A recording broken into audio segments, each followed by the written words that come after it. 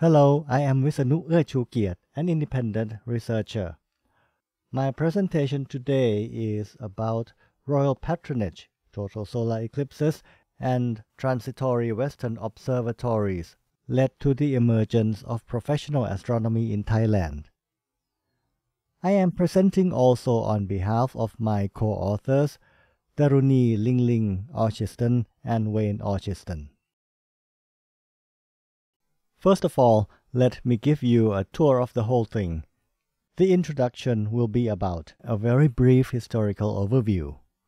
Then we'll go along in a chronological order. Pre and post World War II eras give you different kinds of expeditions and participations. I see the emergence of the National Astronomical Research Institute of Thailand or NARIT as a sequence of events and personalities. Then I will conclude the presentation and allow time for the Q&A. The painting you see here was painted after the artist had observed the total solar eclipse of 24th October 1995 in Thailand. Our time span here is from the second half of 19th century up until today. So in 1851, Siam was ruled by King Mongkut or King Rama IV. You may have heard of his name because he is the king in the famous musical The King and I. And this king was contemporary of President Lincoln and Andrew Johnson. At that time, Siam faced colonialism from England to the west and France to the east.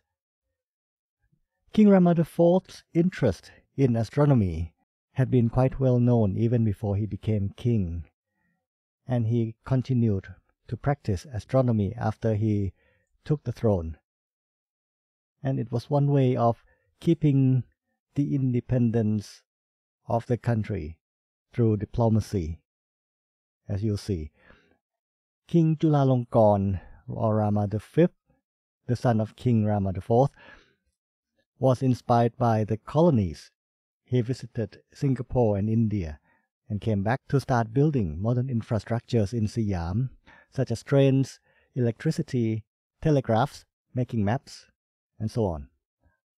Although we were not colonized, Thailand had an openness to Western influence. So we were sending Siamese students, though at first mostly royal family, abroad for education. They went to England, France, Germany, and even Russia. And these students came back to develop the country until after World War II, we had a group of local scientists who emerged from the initial foreign educated Siamese. After World War II also, you see less colonialism and the relationship between Thailand and other countries became more of cooperations. This 18th of August 1868 total solar eclipse is also known as King Mongkut's eclipse. The king predicted the event using his own methods combined with his knowledge of modern astronomy, and could tell that the eclipse would last more than six minutes, and pinpointed the location where he could best observe. He invited French astronomers to come. He also sent invitations to the governor of the Strait settlements in Singapore. With confirmations that the French astronomers and the governor would come, the king ordered the construction of accommodations and observation platforms at the eclipse observation site. The French expedition was led by Edouard Stephan, director of Marseille Observatory. So there were two adjacent locations in Wagor, one for the king and one for the French expedition, which is one kilometer south of the king's location. Wagor is to the south of Bangkok and there was no road there, so the king and everyone had to go there by boat. The observation was quite a success and the king met the astronomers afterwards. They were talking astronomy. The details of the conversation was recorded in a report by Stephan. the king took a photographer with him, Francis Jit. Considered the pioneer of photography in Siam, he was the first Siamese to take photographs of an eclipse, and we can still see one today. Although the French did a lot of observations, the major result would actually come from India, by people observing the same eclipse earlier in the day. From there, Jules Janssen, the French astronomer, observed and co-discovered helium on the Sun by spectroscopy. Unfortunately, after returning from the eclipse expedition, King Rama IV caught malaria and died. His son, Chulalongkorn, who accompanied him to Wagaw, also contracted malaria but survived. He succeeded his father and became King Rama V. Just seven years after the fateful eclipse of 1868, Siam had another total solar eclipse passing through her territory. Since the event was known by astronomers in advance, King Rama V issued an invitation for Western astronomers to come and observe the eclipse in Siam. They would be hosted at his own expense to commemorate his father's love of astronomy. Remember that the king himself was with his father in 1868 at Wagaw. Henry Alabaster, a former British diplomat and the king's advisor, was assigned to attend to the astronomers' well-being while they were in Bangkok.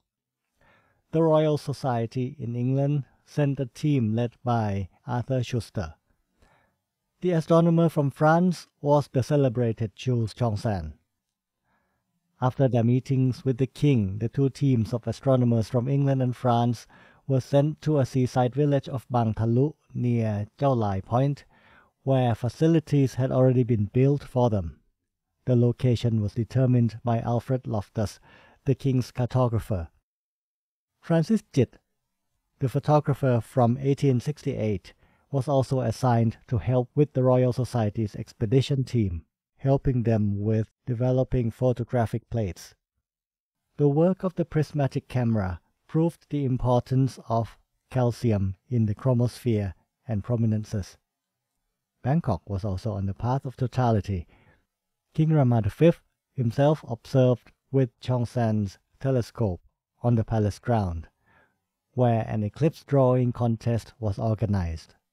Some of the drawings would be included in the Royal Society's report.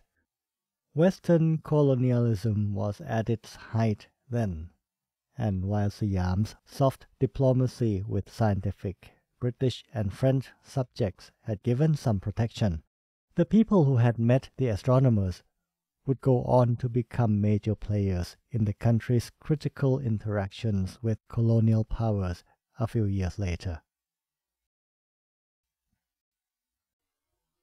Everyone was lucky that the eclipse came in May 1929. Had it come after the Wall Street crash, and the observation might have been very difficult to organize. The main objective at that time was to confirm Einstein's theory of general relativity. This total solar eclipse could be seen in many locations, including Siam and Malaya. In Siam, the government didn't invite astronomers but Britain and Germany requested support for observation expeditions. The Siamese government set up a welcoming committee that included Rear Admiral Praya Rachawangsan, Si Kamonawin as the chairman, and Pra Sanvitanithet, Air Praktaprajit, former instructors of astronomy in the Navy and the Survey Department, respectively. King Prajadhipok or Rama VII a son of King Chulalongkorn, was not directly involved with the astronomers' activities. Yet he showed great interest in the phenomenon. Otherwise, his second visit to Pattani in the far south after the first one in 1928, just one year earlier, would never have occurred. On the ship bound for Pattani, the king was briefed on the eclipse by Rear Admiral Praya Rachawangsan. One day before the eclipse, the king went to the British observation station in Pattani town and to the German station in Kokpo around 30 kilometers away inland. After all the preparations, the day of the eclipse was so cloudy that no good results could be obtained. Professor Stratton of Cambridge University and Professor Rosenberg from Kiel University later traveled to Bangkok and gave plenary lectures at Chulalongkorn University before leaving Siam. The German astronomers sent scores of photographs showing stages of site construction and of the visits by the king and the public. We have no similar record from the British astronomers. Now we come to the events after the Second World War. By this time, colonialism had effectively ended. Visits from foreign expeditions were less country level relationships and more like affairs of government agencies. Siam was renamed Thailand in 1939, and Thailand was now a democratic country with a constitutional monarchy, King Bhumibol Adulyadej, or King Rama IX. Science education became more public.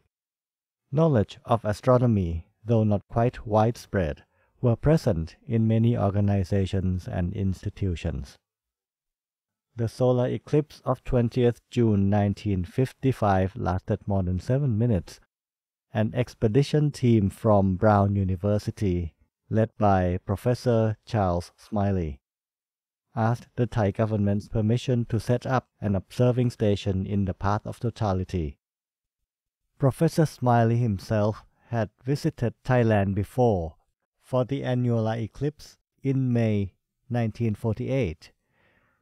A record of the Natural History Section's meetings of the Siam Society reports that on March 31, 1948, Dr. Charles H. Smiley of the National Geographic Eclipse Expedition, chairman of the Department of Astronomy at Brown University, and director of the Ladd Observatory at Providence, Rhode Island, lectured on eclipses, past, present, and future.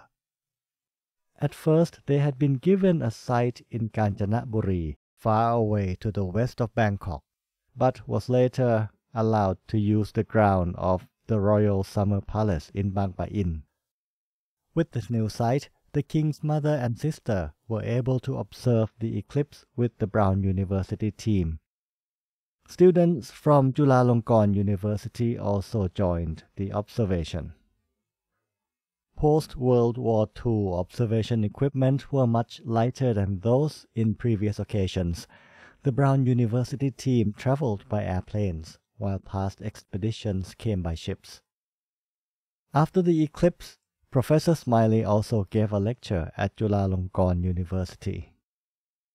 Before the eclipse, Praya Salvita that's the official title of Air Prakta Prajit, had given a radio broadcast explaining total solar eclipse.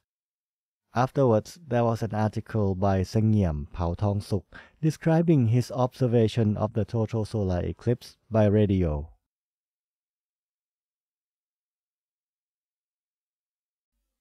In 1995, many things have changed since the last eclipse. Science education had been widespread. There were many science graduates from universities and many more secondary school students who study science. Most universities had science faculties. The total solar eclipse of the 24th of October 1995 had a path of totality that crossed the breadth of Thailand. Local astronomers and the public were equally excited. Groups of astronomers from abroad came to observe in large numbers. Information about solar eclipses was made available to the public. Solar filters were widely distributed and sold. Princess Sirindhorn, who had always been enthusiastic about astronomy, was accompanied by her niece, Princess Bajrakitiyabha, and they observed the phenomenon in Nakhon Ratchasima province, northeast of Bangkok with assistance from Thai astronomers. the enthusiasm and excitement of the total solar eclipse remained in the public's mind long after the event. Subsequently, astronomical news and events became regular features in the media. The inception of the National Astronomical Research Institute of Thailand with royal support in the following decade arguably had this eclipse as a catalyst. The National Astronomical Research Institute of Thailand, or NARIT, was founded in 2009. But in a wider perspective, the institute is an idea that took a long time to grow. I see its emergence as the end result of past observations and successive generations of people who contributed to the cause of astronomy in Thailand. Connectors are people who had seen a total solar eclipse once, lived to see the next one, and were instrumental in passing on the knowledge of astronomy or the interest or passion in astronomy. As you can see, the diagram shows kings and princes as well as commoners. The most important king, though, is not shown. King Mongkut, or Rama IV, was the prime mover in 1868, but died from his observation sojourn and didn't carry astronomy to the next eclipse. His son did. So we have King Rama V, who not only invited the astronomers to Siam in 1875, but passed astronomy on in the persons of Alabaster and Loftus, who used astronomy in their map-making activities. Prince Abhakara, or Prince of Chumphon, was the son of King Rama V. He was born five years after the 1875 eclipse and was not an astronomer, but he was a navy man. He wrote the first modern astronomy text for use in the Naval College and taught the subject.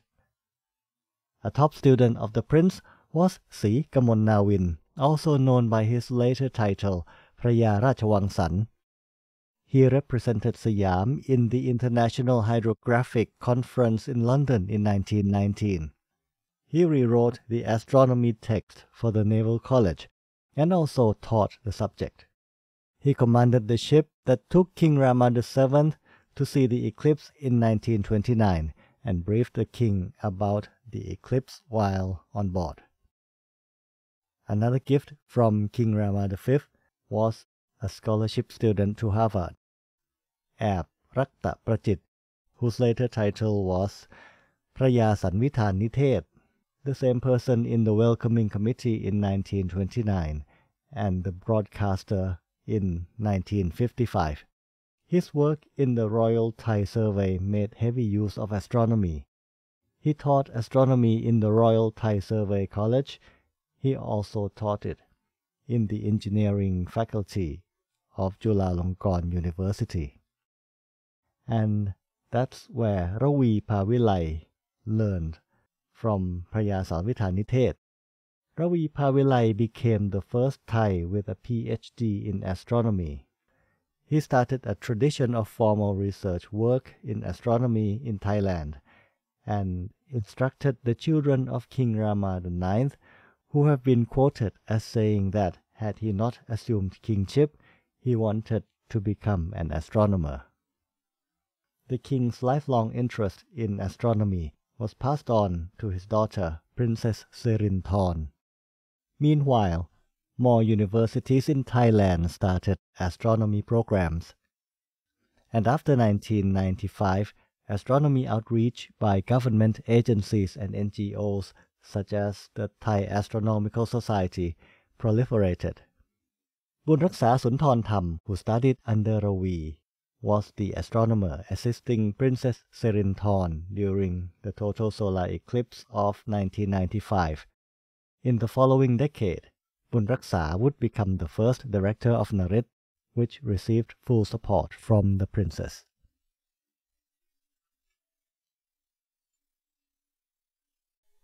Siam and later Thailand, since the second half of the 19th century, was influenced by but did not succumb to Western colonialism. Astronomy played a role in this, for example, in King Rama IV and the 1868 total solar eclipse, where he invited French astronomers and the British governor together. Transitory observatories brought to us glimpses of modern astronomy and systematic work of scientists. These short visits created interest in astronomy and inspired the quest for scientific knowledge among the Thais.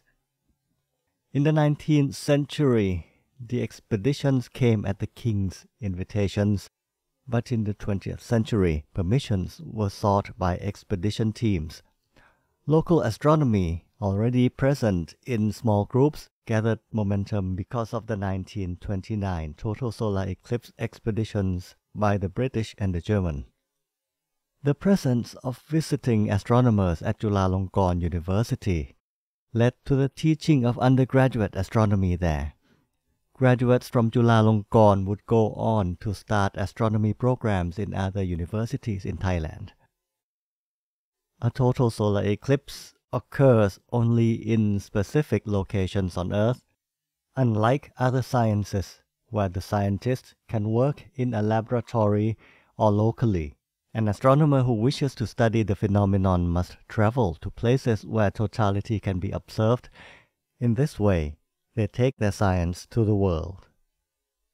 In Thailand, no other science had experienced the kind of activities that professional astronomers from Western nations gave when they came to observe total solar eclipses. And it's also true that no other science had enjoyed Thai royal interest and support as much as astronomy. The development of the discipline of astronomy in Thailand was possible due to the confluence of these factors. Western astronomers setting up transitory observatories to observe a total solar eclipse, and king, princes, and princesses who appreciate and support astronomy. That has been how professional astronomy got its start in Thailand. That's the end of my presentation, and here is a list of further reading for you.